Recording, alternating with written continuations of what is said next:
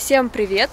Сегодня мы приехали в гости к пчеловоду, пасечнику Вячеславу. Он нас позвал в гости, чтобы рассказать, как он занимается э, разведением пчел, изготовлением меда. Поэтому сегодня будем задавать все интересные нам вопросы, и Вячеслав нас познакомит с таким вот нелегким делом.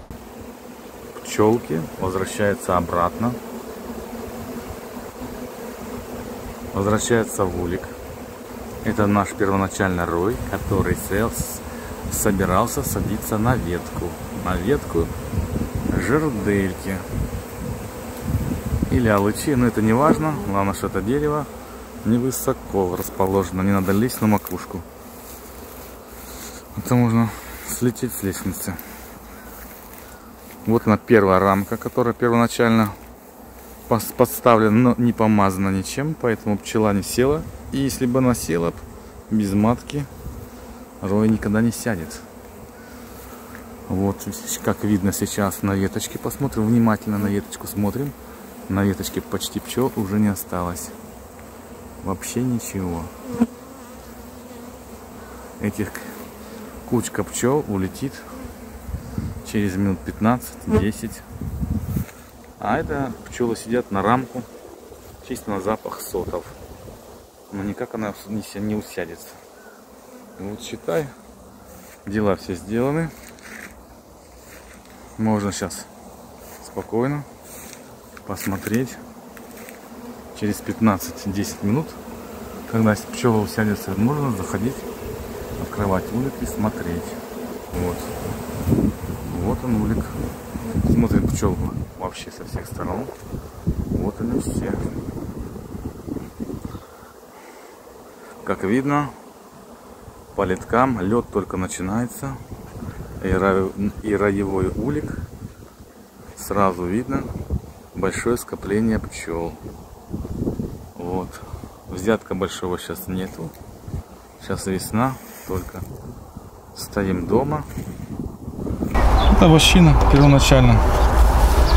Как вот туда поставить. А ее где берут эту вощину? Это пчела, сам, пчела, в пчеловых магазинах. Воск а, покупают, да? А -а -а. Это сперва вощина идет, потом угу. отстраиваются соты. Потом при, при наличии природного меда получается ну, такие, вот такие рамки уже откачивают. Вот, вот в руку возьмите посмотрите, сколько здесь килограмм. Ой, какой-то тяжелый. Она еще не полная. Тяжелая? Сколько она, весит? Ну, ну как, он, мне легкая, а вам не знаю. Ну я так это непривычно рукой взяла, так. Ой, да. тяжело. Ну да, тут килограмма три, наверное, да? Здесь отобранные пчелы. Сейчас покажу, быстро покажу. Они добрые. Ага. Ого, сколько их там. Это семья, которая вернулась обратно строевая. Угу. И сейчас вот это называется. Хотели труда, сейчас покажем труд. Вот пчелы. Вот труд. Вот можете в руку взять, это труд. А что, он не кусается? Он нет. Ну, Сереж, возьми. Не, Ой, он не кусается. Сейчас где-то. Вот, рой, который вылетел, угу. вылетел, вот моточники, она просто матка не вылетела до конца. Угу. Ну, он вернулся обратно, я эту семью открыл, эти, э, моточники все забрал, чтобы потом не лазить по веткам. Я сперва роевые, а потом селекцию будем проводить.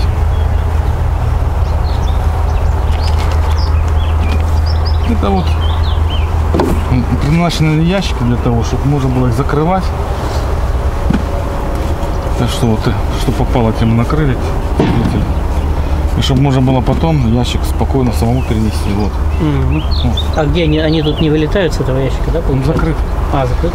Там литок есть, он закрыт. Здесь вентиляция стоит, и они могут спокойно транспортироваться куда угодно. Вот у нас еще стоит прицеп против противороевой совершенно пустое, подготовлено для внезапного большого количества пчел. Это техника рабочая. Испытана в 90-х годах, ездит хорошо. Здесь установлен, установлен у нас павильон на 56 семей. Сейчас покажем ну, изнутри его. Вот так вот. Все открыто. Стоят поперечные палочки. На них устанавливаются рамки до самой двери. Вверху стоят вентиляционные сетки для воздуха. И еще устанавливается дверь, сетка для усиленной вентиляции. Это какие-то даты стоят на этих... На, на Это ульях. маркировки. Маркировка, да? Это для себя символ пишу, чтобы разбирался. Это для, для маленьких семеек ящики стоят. Для отростков. Да, приспособов тут много очень. А вот Это это, а вот. вот это для чего еще? Это вот, чтобы снималось. Тут же еще не все. Тут еще становится вот этот, чтобы дым не дымел. Это чтобы снимать корпуса. Вот сюда становится вот маленький на- наставка вот здесь вот. А эта штука снимается. Потом откатывается, убирается. Нижний просто ряд выдвигается. Пока пустой, можно так выдвигать, без усилия. Просто рычагом, носком вот так вот поднимаешь. Рукой носком. Все, просто эту руку упираешь, это поднимаешь и тянешь. А вот это сверху что такое лежит? А Интересно. это настоящие утеплители, сплетенные с камыша, с чакана. А, это для них, да? Для утепления, да, вот А, это просто вот- можем показать. как Это вот на зиму, да? Ну и на зиму сейчас. А, сейчас тоже? О, интересно, да. Ну вот. Вот у нас сейчас семья вот такая еще. Да, да, сильно не развита. Еще по процессе разви- развития. Плетется с камыша. Это все сами делали тоже, да? Да. Это здесь становится корпус для меда, и его так вот зацепляется. Потом здесь подхватывается. Ну, лебедкой поднимаешь, да? Поднимается. Ну здесь еще стоит электрическое, но это под электрическое, но пока еще. Ну это вы потом, когда будете уже мед качать, да? А, да, привезу, позвоню обязательно, чтобы Вот надо, да, нам обязательно приехать. Как вы там делаете, это интересно. Потому что некоторые, ну, для того, чтобы видно было, как тут мед появляется. Да-да-да. Это ей получается, вы соскабливаете мед. Ну, не соскаблишь. А как? Дальше. Это сдвигать рамки, вот это сдвигать. Вытаскивать одну рамку, если она мешает. А, вон как. Это сдвигать. Это подвигать, это, ну, это когда это мало, это чтобы молоток под рукой был. Это вот когда видишь, сколько? Нет, да? это заводские. И с- есть самодельные, это которые заводские продаются, вот. И я покажу, какая настоящая должна. Сколько всего надо иметь. То есть, получается, ими поддевают, правильно? Мгм. Вот этой. А это сделано самодельно. С высокой, с самой крепкой стали. Это отец сделал мне. Это сделано самодельная стамеска стали, самой крепкой.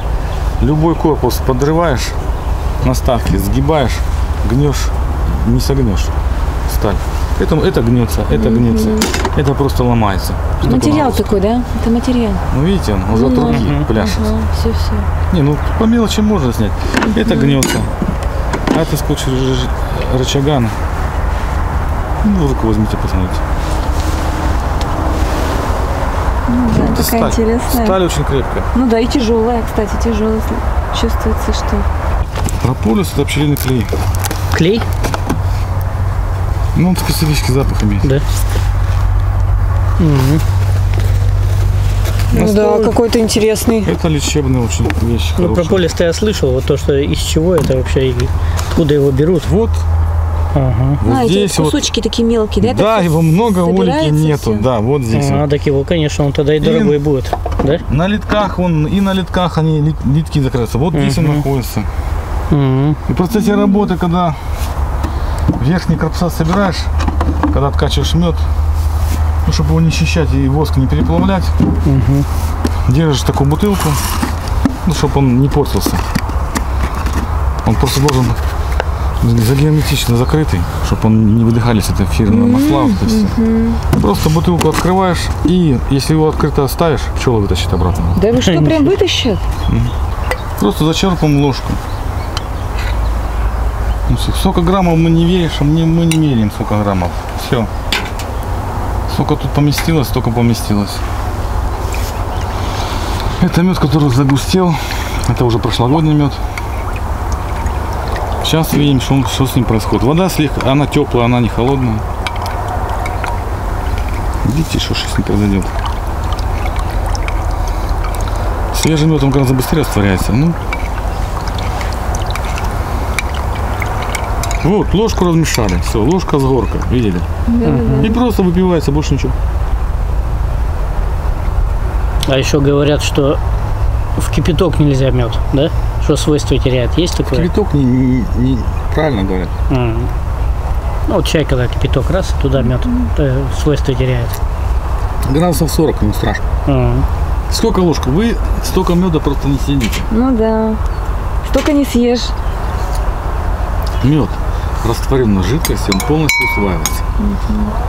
Чтобы организму вот можно съесть и 700 грамм в сутки. Роль не играет. Да, ну это как-то, мне кажется, норма уж сильно перебарщивается, столько много. 700 грамм это вот. Это вот 700 грамм это вот. В течение дня. Ложка. А- Одна утром, одна в обед, две вечером, ложка, ложка, ложка, ложка, ложка. Постепенно можно дойти до 700 грамм. Ну только тут просто другая причина. Куда вы девать калории будете? Ну да. Это же кал- калории, надо их тратить. А если просто их не тратить, зачем столько есть? Вот она.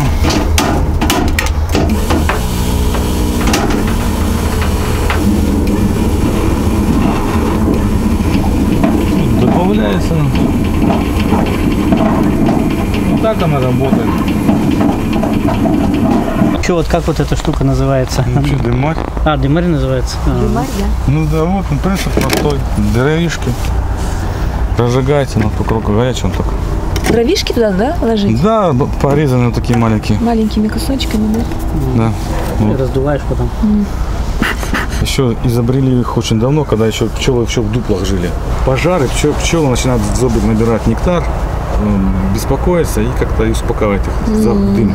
И нас тоже успокаивает дым, когда мы злимся. И еще такой вопрос. Для чего красите разным цветом? Вот?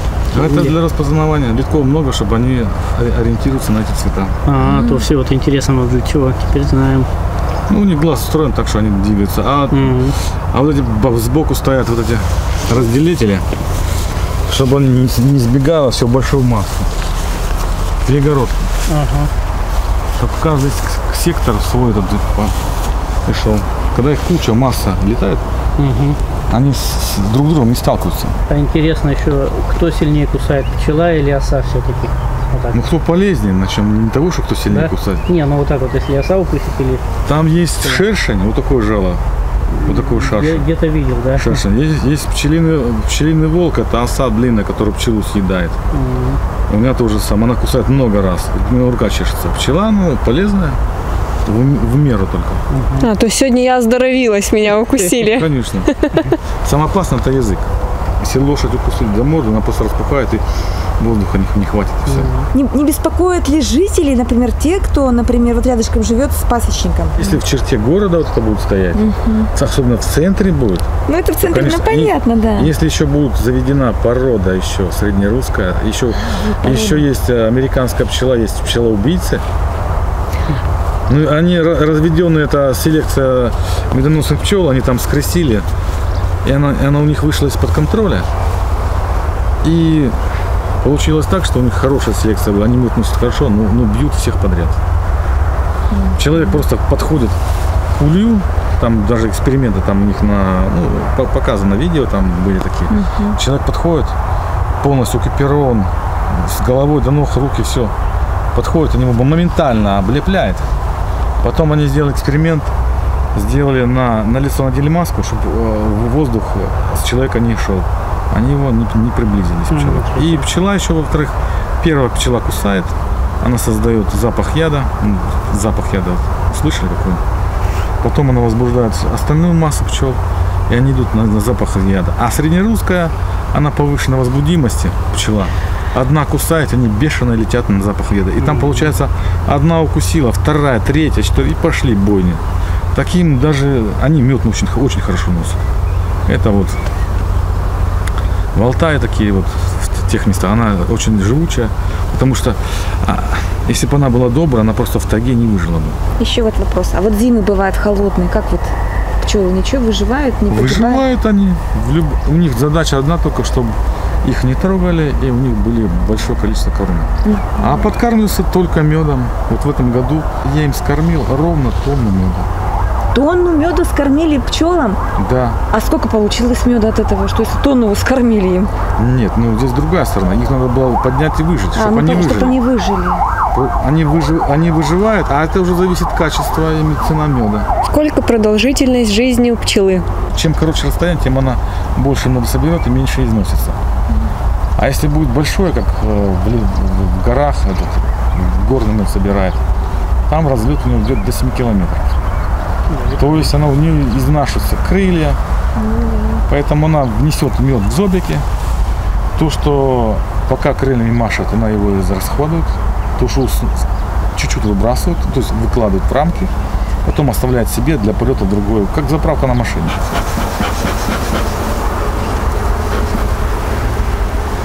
Просто я здесь помню, что был маточное молоко, поэтому сейчас надо...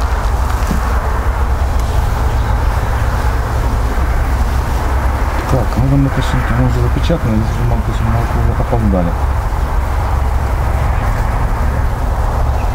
А, вот. Вот, хорошо, м- мы удачно зашли. Вот оно, маточное молоко, вот оно. Вот, видите, сколько его много. Мгм. Прям беленькое такое, да? Ну, вот это и есть маточное Вот это, молоко. вот это маленькое, это, это матка. Вот это, это убирается на собрано. Это ра- разовые вилочки. Вот сколько. Ну, Может, с одного раза ничего вреда никакого не буду. Чтобы Его не, не глотает, его рассасывать. Под язык ложит. Я такое ни разу не это. Вот это есть маточное молоко. Мгм. Необычно, как-то даже не знаешь, как описать. Даже вообще не знаешь, чем сравнить, с каким вкусом. Ну, вот, вот это для этого надо делать лечебные пасеки, чтобы люди приезжали. Специально выращивать, ставить пчел для маточного молока, чтобы непосредственно потребитель мог под контролем врача его принимать и лечиться. И уж нельзя много есть. Вот этот, вот этот моточник делится на три приема. А вот который мы сейчас ели? Ого, на три раза! А мы за раз! Ну я же вам показал, какой он на вкус. С одного раза не будет, вре- вреда не будет. И то не раз, его, его, его не глотает, его под язык, ему чтобы раз, расходился, там целое дело. А проглотили в желудок попал, все. Все понятно, значит, на языке надо. минуя печень, там оно как таблетки кладут под язык, но там за счет рецепторов там Мы хотим оставить ваш телефон под видео, что если кто-то захочет у вас приобрести мед, он может позвонить, узнать, и вы там уже по ситуации объясните. Конечно, по ситуации По ситуации, всё. да. Есть, да, пожалуйста, нет, значит подождать там. Ну Да, хотя бы, чтобы да. могли люди обращаться. Конечно.